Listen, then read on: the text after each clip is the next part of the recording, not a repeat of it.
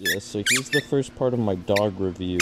Um, this one's pretty cool. He does it like that. Jack, I did one? it. What year is it? Uh, Finally, I fixed it. what happened? My Xbox. I haven't been able to connect it for so long. Your your 360? What? You No, my Xbox. The, the, the first one. My Xbox One. The what? Uh, my Xbox. The that means something else. What?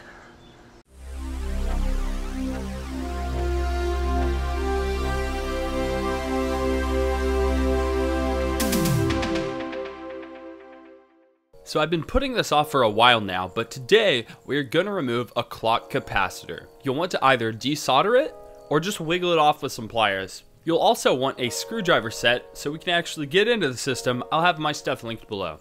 A quick rundown on the capacitor for those who don't know. The capacitor lets the Xbox keep track of time when unplugged. People notice that on models 1 to 1.5, they leak fluid and the fluid can actually eat through your motherboard, which is uh bad. Before you do anything, let's check your revision number and make sure you actually even need to remove it. A quick way to check is go to the date. From January 2001 to April 2004, that's 1.0 all the way to 1.5. There is some overlap though, as 1.6 starts in March of 2004. If you have the overlap, I'd check the AV port.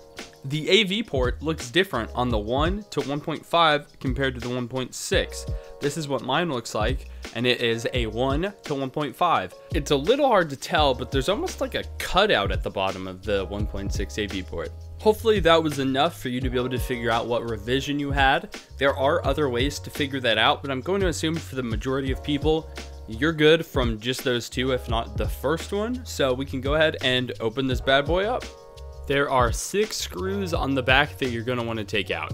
One, two, three, four, five, six. Once you've removed the screws, you can go ahead and try to pry it open. You may be able to open it easier if you tilt it onto its side, or you may have no luck with that at all and want to put it back flat down.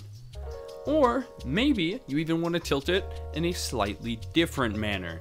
That's all, of course, you know, hypothetical, because obviously I got it on my first try. Anyways, once we finish up opening the actual system, you're to be greeted with a DVD drive, a hard drive, and a big ribbon cable. We're to go ahead and take off the ribbon cable from the hard drive and DVD drive and get that out of the way. The next thing we're going to want to do is the power cable for the hard drive is kind of tucked away, and we want to just go through and undo those runs. And then we can go ahead and start unscrewing stuff. It's only going to take two screws before we can wiggle out the hard drive, and then just go ahead and set it aside. And the DVD drive only needs two more screws also. Once you unscrew it, grab onto it, wiggle it over, and just move it to the side. Don't need to unplug anything. Now, on to the moment we've all been waiting for the clock capacitor. So, where is the clock capacitor exactly? It's right here. Now, I did try to use wire cutters. I read somewhere that you could do that. I have no clearance for that whatsoever, so I decided to just use pliers and gently wiggle the pins until they snap. You want to be careful with this. The whole thing with the capacitor is that they gradually leak fluid. So if you're being too rough with it, you're just going to get a bunch of fluid everywhere and kind of defeat the point of you taking it out before it goes bad. Mine came out pretty clean. It actually looks like it wasn't leaking fluid at all, but yours may have leaked some fluid. I have heard differing opinions on how to clean that up. Some people have said use isopropyl alcohol. Some people have even said vinegar. I've heard mixed information on this, and I didn't have to clean mine, so I'm not going to give a recommendation for cleaning it. But there we go. That's how you remove the clock capacitor.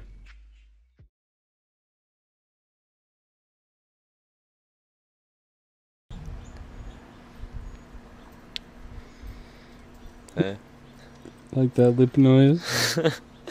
my ASMR. His beard's green. Look at the shine. Look at them shine. Oh, oh, oh, oh. Oh. That's cool.